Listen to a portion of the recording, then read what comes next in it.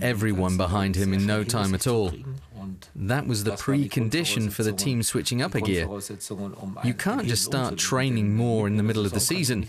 That does your body more harm than good. You have to try and get the best possible performance out of the players in their current condition. I know how to go about leading a team and dealing with individual players. How you communicate with them is one thing, but the actual content of the training is very important as well. It's the things you practice there that you have to try and implement out on the pitch. He knows what he's talking about. Jupp Heynckes is one of only six men to win the Bundesliga as both player and coach. He earned four titles on the ball with Mönchengladbach and three so far on the touchline at Bayern. The Foals' deadly frontline leader in their golden era of the 1970s, he's still third on the league's all-time scoring chart on 220 goals. More than one of them at Bayern's expense. In short, a world-class striker in his day.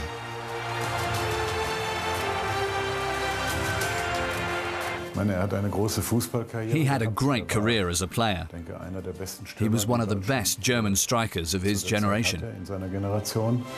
Heynckes and Mönchengladbach, the provincial club challenging Munich's big city stars for top billing.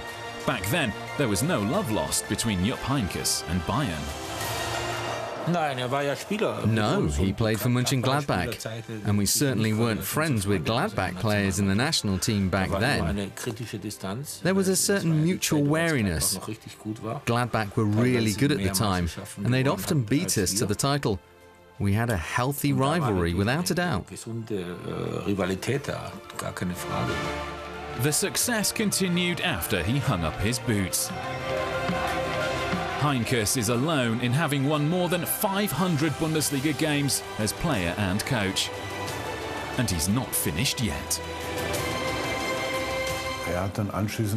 He was able to learn from a great master in Hennes Weisweiler.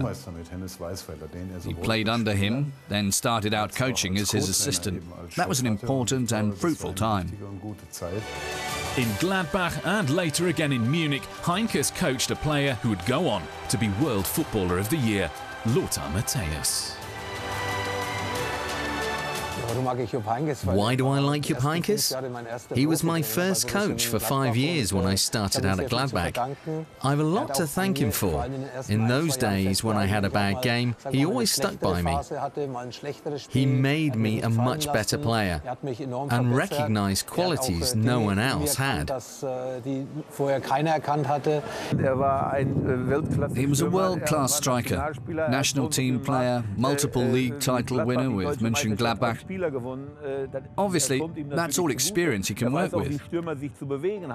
He knows how players have to move up front and the kind of service they need. He's the complete coach. Who's managed to attain legendary status at two top clubs Bayern and Gladbach. Heynckes wears his heart on both sleeves. That's a really nice added bonus that these two great clubs of the 1970s have turned out to be my clubs. I always felt totally at home in Mönchengladbach as a player and enjoyed a lot of success there. And now at Bayern, I feel every bit as much at home. The final league game before he retired in 2013 at Mönchengladbach.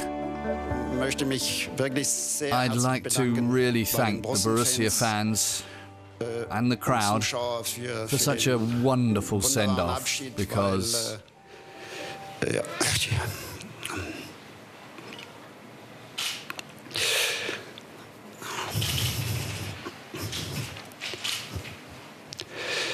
that shows me well, the, this is where I come äh, from. Dass, dass das meine Heimat ist.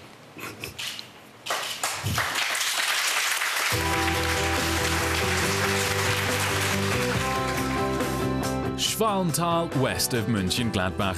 Heynckes spent four and a half years living the quiet life here, and it's here that he'll return one day.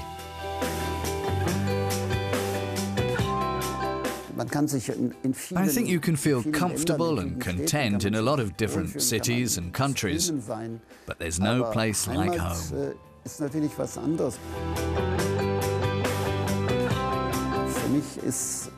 For me, it's an oasis of tranquility, my personal retreat.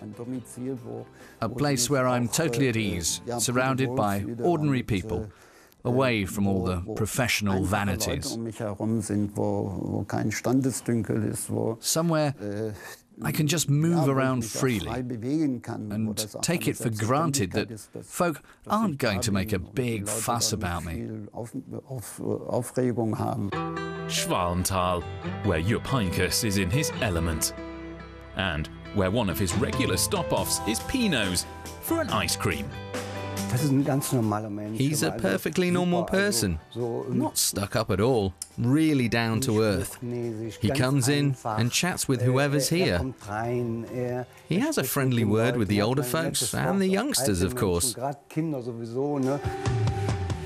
The mayor is equally effusive about the municipality's celebrity citizen.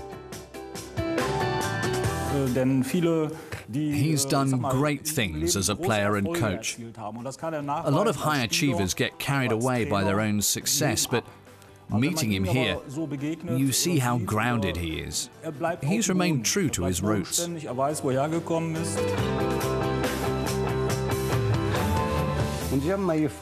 Once when he was here, I said, Are you not watching the football today?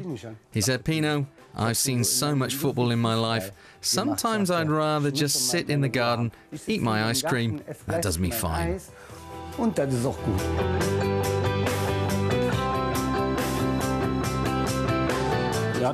He's never forgotten where he's from. That's great. But for the moment, he's back in the big time limelight in Munich. At 72, he's the oldest coach in the league by some way. But he's definitely still got a youthful spring in his step. It's not like he needs someone to help him down the stairs. Jupp Heynckes is more than a coach at Bayern. To some, he's also become a real friend down the years. Jupp's someone you can rely on. He's a very profound character, always challenging his own thinking, that of others as well. He's someone who doesn't panic, isn't going to be blinded by his own success. He's always followed his own path without succumbing to any kind of arrogance when he's successful. In a nutshell, He's a good guy. And he's still on course for another treble with Bayern, even if a repeat of 2013 isn't on the official agenda quite yet. We were in Qatar back then and still in every competition, which helps if you're after the treble. We also had the salad bar. I made a point of checking that. As long as it's possible, they'll go for it and some are already happy to admit as much. Bayern Munich. I'd say Bayern München are a pretty good team. Why shouldn't we do it? Yeah. We have to be capable of it. Whether the general public see it that way is another matter. That's the standard we set. For better or maybe occasionally worse, I'm someone who'll uh, always go into a game with the basic mindset that we're the only team who can really win it. Not a claim you're ever likely to hear from the coach. The management are also happy to keep things low-key for the moment. I think we've a decent chance of defending the Bundesliga title again. As far as the Champions League goes, we do well to just go about it a step at a time and with the appropriate humility. The tournament's really kicking into gear now, and with the knockout format, you can't afford to have a single off day. No more slip ups or lapses in concentration. I think that's how Jupp approached it in 2013. We improved from round to round and ended up deservedly winning the tournament. But we're not setting him that target of taking us to another treble this year. That would be presumptuous on our part. There's another big question. Might Jupp still be in the Bayern hot seat next season?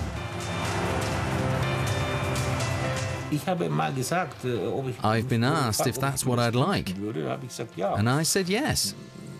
Simple as that. Whether it's a realistic option, I don't know. I just can't say yet. We have to let the whole situation settle down a bit first. He's got a bit of time to think about it, and so have we. July the 1st still a long way off. Right now, we should be reflecting on the difficult period we've put behind us and enjoying our current fine form. The turnaround was abrupt once Jupp arrived last October. Remarkable, the effect one man can have even on a club this size. I think we've reached a very good place at the moment.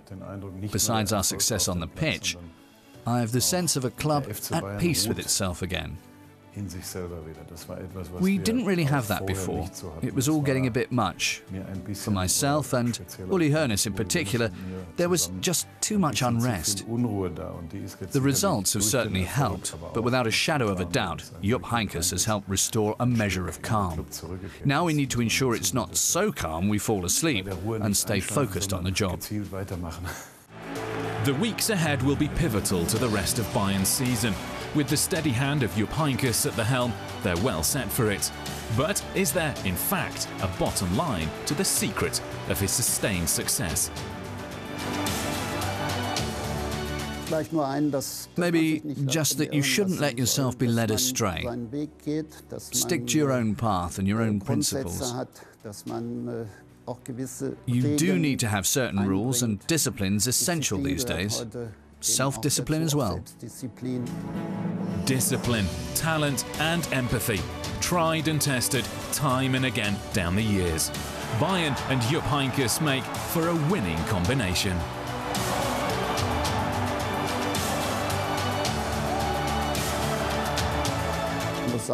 I have to say, I've been lucky. And as I've said before, I owe Bayern a lot.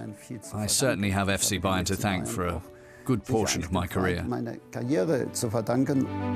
Bayern fans will wish him all the best for the rest of the season and ongoing good health. You need that. Good health's very important, especially when you're still young.